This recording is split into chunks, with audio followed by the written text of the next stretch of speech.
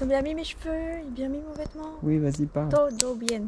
Hola Bienvenue dans un nouveau vlog en Espagne J'espère que vous allez tous très bien et que vous avez regardé mon dernier vlog.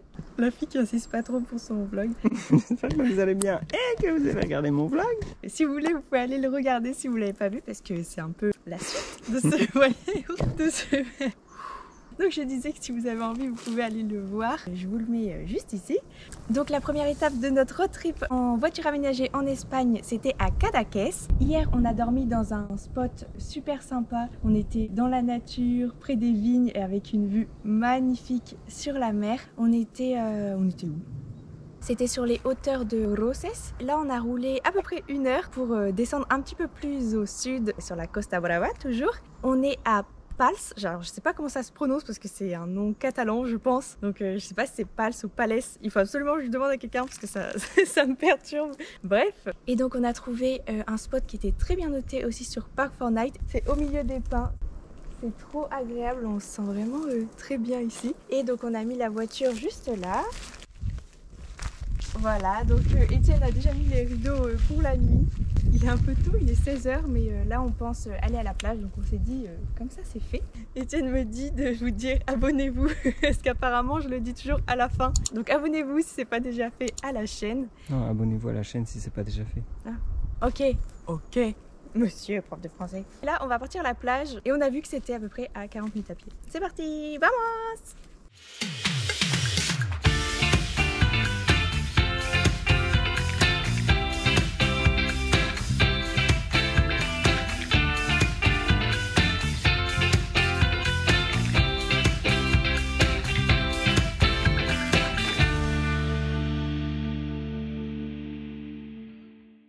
C'est parti Un kilomètre à pied.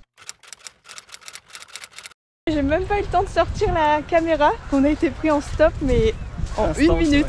Bah, il y a deux voitures qui sont passées. Et c'est la deuxième qui nous a prise. Elle s'appelait euh, Georgia. Elle bah, travaillait euh, ici à côté de la plage. Et donc, bah ouais, euh, elle, nous a pris. ici à Pals. Elle, du coup, on lui a demandé comment ça se prononçait. Elle a bien dit que ça se disait Pals. Et donc, elle nous a conduit à la plage. Donc voilà, là, on arrive, on est arrivé à la plage sur la plage. En 10 minutes, on était là. voilà. Donc voilà la plage. C'est grand, on dirait la plage du Nord. hey, T'as vu qu'elle faisait combien de kilomètres? 2,7 km. Ah ouais, elle est énorme. C'est immense. Là-bas, c'est beau, il y a des falaises. Il hey, y a des vagues, dis donc. Ouais, il y a des vagues. C'est quoi ce gros truc aquatique là? Bah, je sais pas. Bon, ça a l'air hyper touristique. Ouais, c'est très très touristique. Et euh, en fait, donc elle nous a expliqué qu'il y avait trois pals, si j'ai bien compris. Euh, pals Playa, donc là où on est. Le Ma Pals. Ouais, je sais pas c'est quoi le. Mals. Ça, j'ai pas trop compris. Et le, le, village médiéval avec le château. Je pense qu'on ira peut-être demain. Ah ouais, ouais. On en tout cas, c'est justement pour ce village que j'avais envie de venir. Donc euh, voilà. Mais c'est quand même très agréable aussi de passer à la plage. C'est ça. Bon bah on va se poser quelque part. Alors apparemment c'est une plage naturiste. Bah, je suppose parce qu'il y a plein de gens euh, tout nus. Euh, mais bon nous ça ne nous dérange pas du tout. Au contraire on trouve ça chouette donc euh, voilà. Mais bon c'est bon à savoir quand même.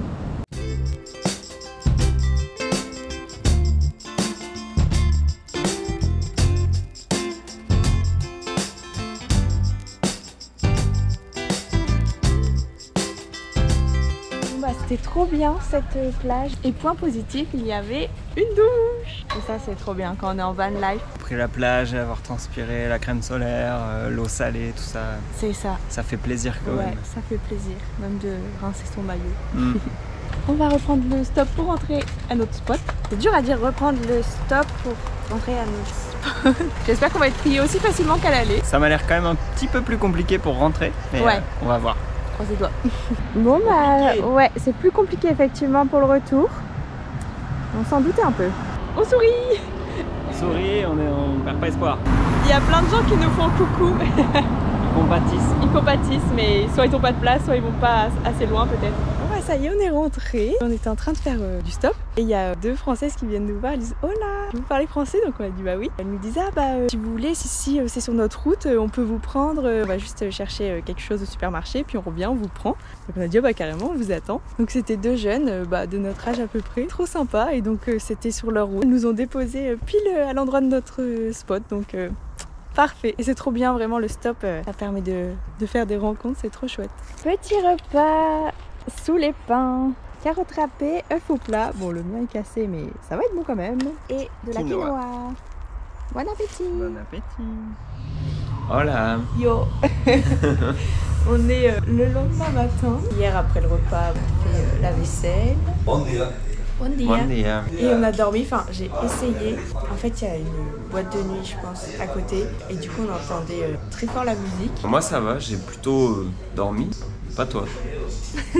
Bah ouais, bizarrement, d'habitude, euh, c'est l'inverse. C'est toi qui es dérangé par euh, les bruits et t'arrives pas du tout à dormir. Mais là, vraiment, j'entendais euh, la musique, les gens qui criaient. Il y a eu des feux d'artifice. Alors, j'ai pas compris. Je me suis endormie, euh, je pense, vers 2h du matin. Et après, j'ai vu toutes les heures passer. En plus, il y a une voiture qui a commencé à se mettre euh, super proche de nous quand on est revenu de la plage. Je sais pas pourquoi elle était aussi proche. Il y avait euh, plein d'endroits où se mettre. Ouais, Elle est venue se coller à nous. euh, Alors que la forêt elle était grande. Ça arrive hyper souvent. On comprend pas trop pourquoi se mettre aussi près. Après, peut-être que c'est un côté rassurant euh, pour les gens, je sais pas. Et donc, bah, forcément, comme ils sont près, ça fait du bruit, etc. Ouais, enfin, ils, a- ils allumaient les phares, mais comme en fait, il y avait notre voiture et leur voiture, et du coup, les phares étaient vraiment sur notre van, donc euh, tout éclairé euh, dans le van. Au final, 6h40 après, il n'y a plus du tout eu de bruit. Et le réveil a sonné à 7h. Parce qu'on prévoit d'aller sur une plage et on voulait y aller tôt avant qu'il y ait du monde. Mais bon, c'est pas grave, il y a des nuits comme ça. C'est aussi les aléas de la vie en Bali. Voilà. Et donc là, on prend un petit déjeuner au bar La Jeannette. Oui, à Bégoul, parce que c'est son autre chemin pour aller à la CRI. Voilà. On voulait pas euh, sortir toutes nos affaires pour euh, faire le petit déj. Donc euh, on se met en terrasse. Petit café, petit chocolat chaud pour moi et deux croissants. Ça va me faire euh, reprendre des forces après cette nuit euh, terrible. Estamos en Playa Fonda. Ça nous fait trop penser à la plage de l'Arène à Cassis. Bon, sauf que c'est du sable et à Cassis c'est des cailloux, mais avec l'escalier comme ça, ça ressemble vachement. C'est trop beau.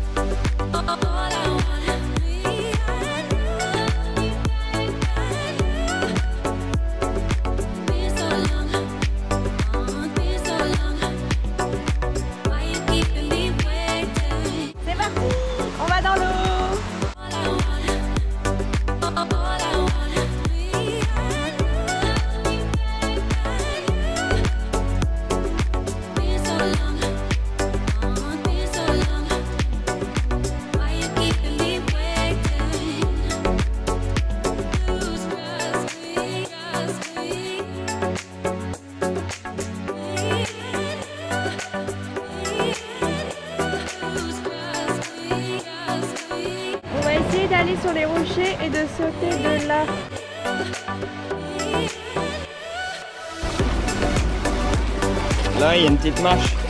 Faut que tu te mettes euh, en position euh, accroupie. Voilà.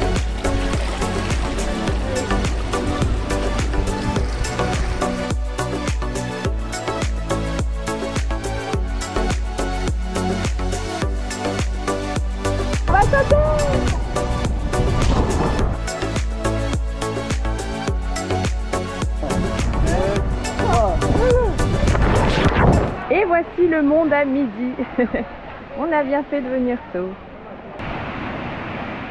Alors on est retourné à la voiture juste pour euh, déposer euh, quelques affaires. C'est 3 euros par jour et par voiture donc ça va. Alors là c'est la file de voitures qui attend pour avoir une place au parking justement. Donc euh, voilà voilà, venez tôt.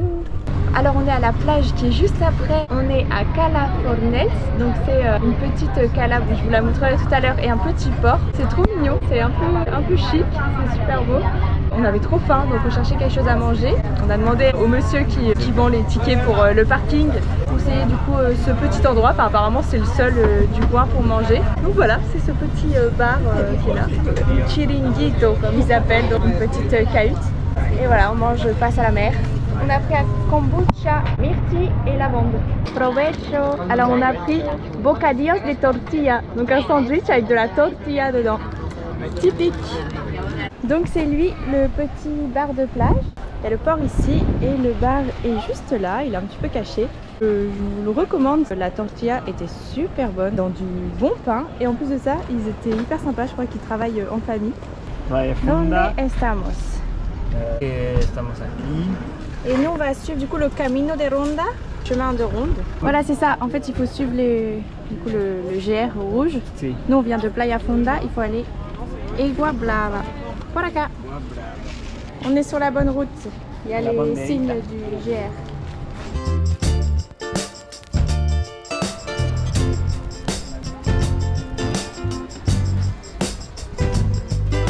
Je suis fan de paysage. C'est magnifique. Non, c'est magique. Donc voilà, on va devoir prendre les escaliers qui sont là.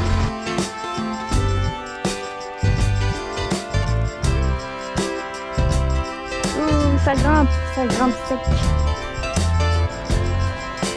Alors on est monté pour voir euh, la vue sur la plage de Egua Blava. Effectivement c'est trop joli. Il y avait beaucoup de monde, beaucoup de transats. Donc on a décidé de redescendre, de se poser euh, sur les rochers quelque part ici. On est en train de voir où est-ce qu'on pourrait se mettre. Ben voilà, parfait ici. On est tranquille.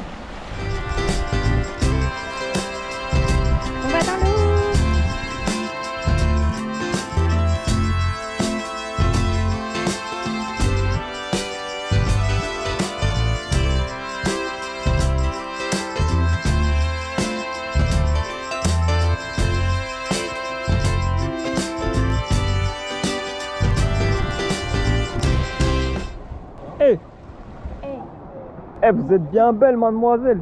Eh, je... On sort ensemble ou quoi Je suis déjà prise. Ok, bah c'est pas grave, de toute façon, euh, j'aime pas les gens qui tombent. Ce moment de joie quand tu trouves un robinet avec de l'eau potable. Je l'avais repéré ce matin. Je m'étais dit qu'il fallait absolument qu'on passe au retour. Donc on va remplir notre bidon, nos gourdes. Ça va, il n'était pas euh, tout à fait vide comme on l'avait rempli à la station essence. Mais c'est vrai qu'il y en a quand même moins en Espagne qu'en Italie l'année dernière. De retour de la plage, on a trouvé un nouvel emplacement pour le van. On a décidé de changer comme l'autre était euh, vraiment proche de la discothèque. Euh, Là, c'est pas très très loin du premier, mais quand même bien plus loin que la discothèque, donc euh, je pense qu'il y aura moins de bruit. Et en tout cas, c'est encore trop beau dans les pins. Il y avait un van à l'entrée. Et là, pour le moment, on est tout seul. En pleine préparation de notre repas du soir, échalotes, courgettes avec euh, des curry madras et de la semoule. Et on rajoutera aussi euh, pesto et tabasco, bien sûr, toujours le tabasco. Bon, il faut savoir qu'on n'a pas de frigo, donc euh, on peut pas garder euh, vraiment beaucoup de choses au frais. On a fait nos courses à Lyon en fait, parce qu'à la base on pensait partir en Suisse et on sait qu'en Suisse ça peut être très très cher. Bon, j'avais plus de batterie, j'ai fait un petit changement de batterie. Donc, je disais qu'on a acheté pas mal de choses, d'aliments secs, pâtes, semoules, euh, pois chiches, des choses comme ça qui ne doivent pas être au frais, mais on a aussi acheté quelques fruits et légumes, donc pas trop parce qu'on sait que ça tient pas beaucoup dans le van. Là, par exemple, ce soir, on a regardé alors qu'est-ce qu'il faudrait faire? Ah, les courgettes, elles commencent peut-être à être un peu critiques, euh, donc on va les faire. Ah, la tomate, faudra la faire, euh, je pense, demain maximum. Enfin voilà, on s'organise comme ça pour les repas. Oui, bien, on a tout rangé et on va se coucher. Espérons que la nuit soit meilleure que la nuit dernière. Et je vous dis à demain. Hello Bonne nouvelle, j'ai mieux dormi cette nuit, carrément mieux même. Il y avait du bruit mais jusqu'à 23h pas plus euh, du camping et après euh, j'ai rien entendu donc euh, c'était parfait. Alors programme du jour, on va visiter deux villages, le village de Pals et celui de Bégour. Mais avant toute chose, petit déjeuner. C'est parti pour visiter le village de Pals. On était vraiment à 5 minutes de notre spot, c'est trop pratique. Et on s'est garé sur le parking juste ici, qui est gratuit. Il est 9h du matin, on est venu tôt pour avoir de la place, comme d'habitude. C'est tout mignon et il n'y a pas grand monde pour le moment, c'est agréable.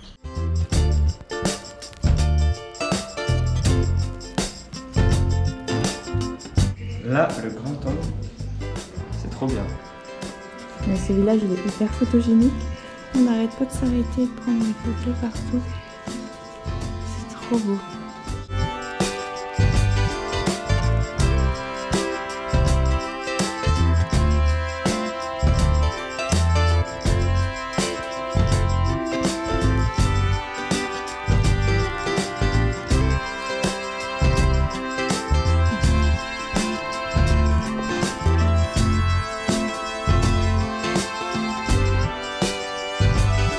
Je disais à Etienne que ce que j'adore dans ce petit village, c'est euh, me perdre dans les rues.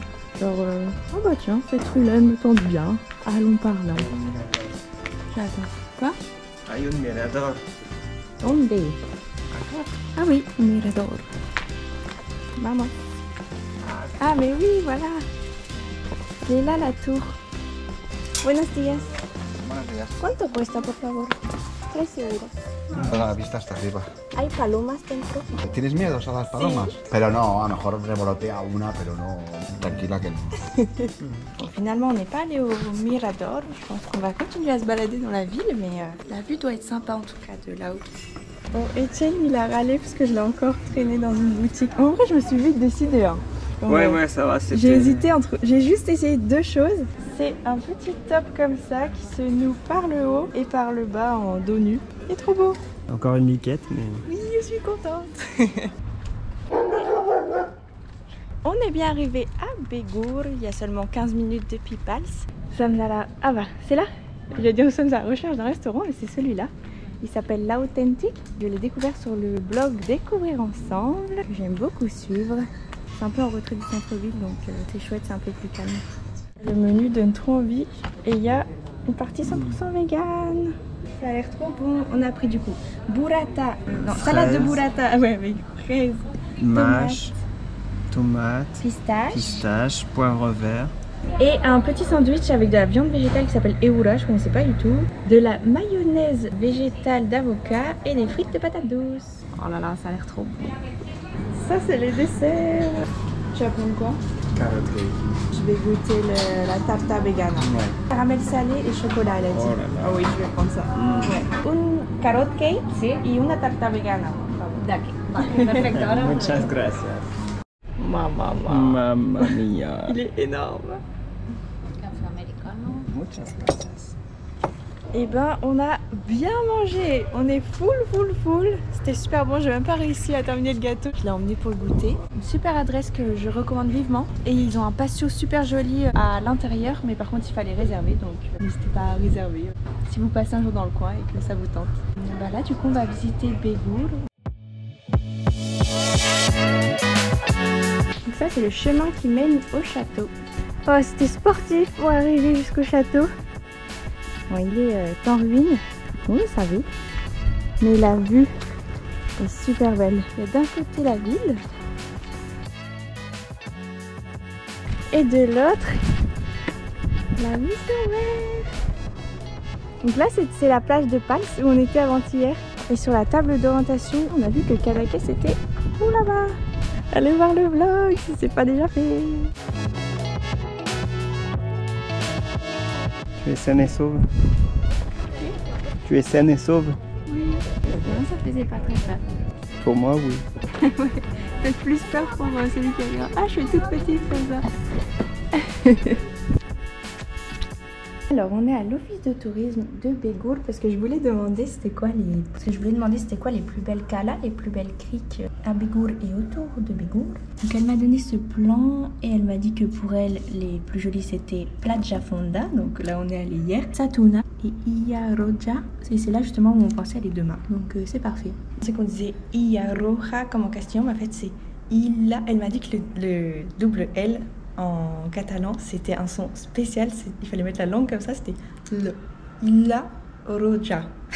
on est de retour au spot hier soir, il n'y avait personne donc on s'est mis au même endroit et on fait des choses euh, pas forcément très marrantes mais qu'il faut faire euh, des sauvegardes euh, sur le disque dur, appareil photo, drone, GoPro, tout ça. Et je voulais continuer à mettre mes stories et en fait je me suis rendu compte tout à l'heure que j'avais plus toutes les photos que j'ai prises depuis le début du voyage. En fait ma carte SD n'apparaît plus. Trop bizarre. Donc j'ai que les photos de ce matin de Pals et de cet après-midi qui se sont mis du coup sur la carte interne de mon portable. Euh, mais voilà, impossible de lire ma carte SD. Donc là on est en train de régler ce problème. Euh, même sur l'ordi, euh, elle se lit plus. Donc euh, c'est c'est trop bizarre franchement. Euh, J'espère qu'on va régler ce problème. Là on est un peu contrarié. Bon, ça fait deux heures qu'on est sur cette récupération, enfin tentative de récupération de carte SD. Franchement, on commence à désespérer. Euh, Jen, il s'est mis à faire du codage. Moi, je comprends rien. On croise les doigts, mais bon. Je pense fait deux heures et demie que je suis là-dessus. Buen dia Bon, hier, euh, finalement, je vous ai pas expliqué la suite euh, des aventures. Étienne n'a finalement pas réussi à faire apparaître la carte SD euh, sur l'ordinateur. Donc, euh, j'avoue qu'on était un peu blasé quoi. Mais bon, ce sont des choses qui arrivent malheureusement, des crashs de carte SD, euh, je sais pas trop euh, ce qu'on peut faire. Surtout qu'elle a montré aucun signe de faiblesse avant, mais bon, c'est comme ça. J'espère que vous allez m'entendre, il y a beaucoup de vent, mais au final on pense avoir trouvé une solution grâce à un logiciel de récupération de données. Donc voilà, je pense qu'on va faire comme ça et puis on essaiera tout à l'heure, mais je pense que ça va marcher. Et je crois que c'est un signe pour me dire de euh, sauvegarder mes photos en voyage beaucoup plus souvent parce que je le fais, mais pas assez souvent. Donc voilà, je vais le prendre comme ça. En tout cas, là, il est 7h35 euh, du matin. On est arrivé à la playa de Lila Roja. On vient juste de se garer, alors que c'est un parc mètre.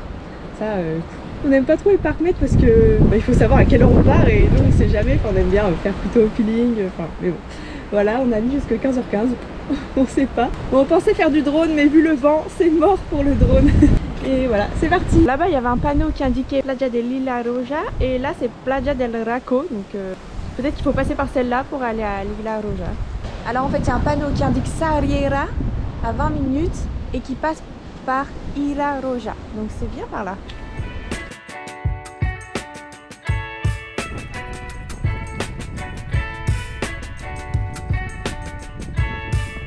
Ça commence difficilement.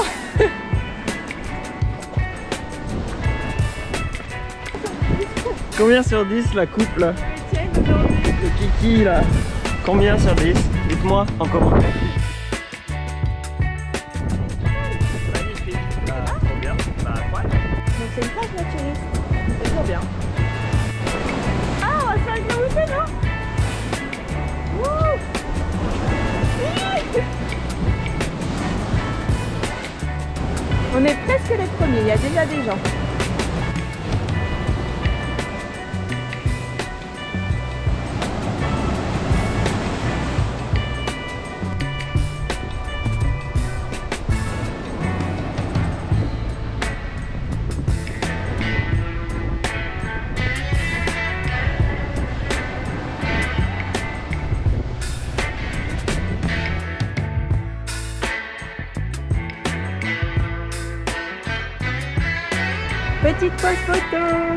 est magnifique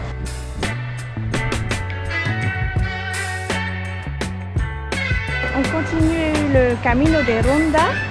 Et donc là, c'est la plage de Sariera qu'on voit.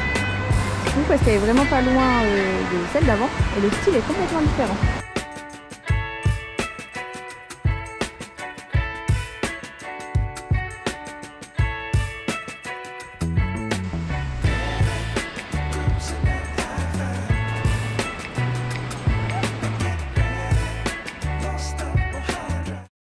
Avant d'arriver à la Cala Satuna, on s'est arrêté en chemin sur un petit spot. En fait, c'est un parc Fortnite euh, à la base euh, où on peut dormir. Nous, on s'arrête euh, juste pour manger. Il y a une jolie vue.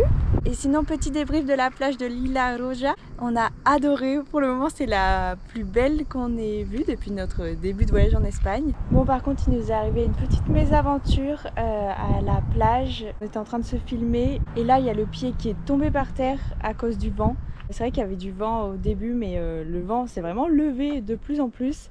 Donc on l'a pas vu venir. Donc euh, voilà, notre nouvelle appareil photo avec notre tout nouvel objectif. J'ai complètement retrouvé la tête dans le sable. Ça fait seulement euh, quelques fois qu'on l'utilise. Bah, c'est son tout premier voyage, quoi. Donc on était vraiment dégoûtés. Mais bon, voilà, après c'est tout. On a essayé de relativiser et de se dire que c'était que du matériel. Et puis c'est en faisant aussi qu'on fait des erreurs. Donc voilà. On est arrivé à Satuna un peu avant 15h, donc euh, tous les parkings étaient pleins. On a quand même trouvé une place pour se stationner, mais tout là-haut. Donc euh, bon là on descend vers la, Cala, vers la Cala et on est en train de se dire euh, tout à l'heure on devra remonter tout ça. mais bon, pensons au moment présent. Pour le moment, on descend. ça a l'air trop mignon en tout cas.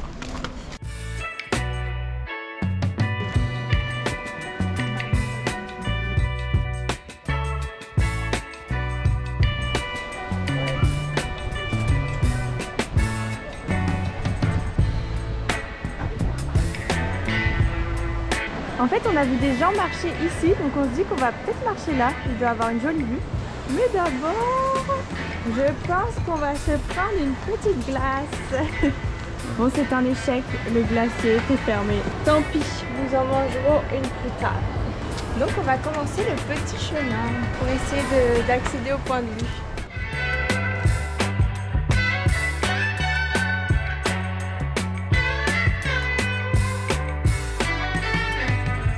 Va descendre à cette plage-là. Elle a l'air euh, plus paisible.